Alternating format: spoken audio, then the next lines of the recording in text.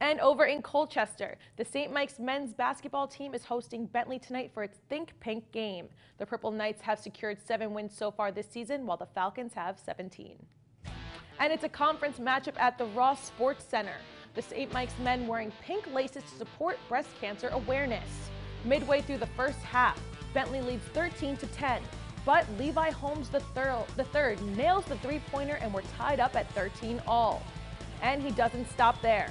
In the next minute and 30 seconds, Holmes III hits two more threes beyond the arc. The Purple Knights lead 21 to 13 now.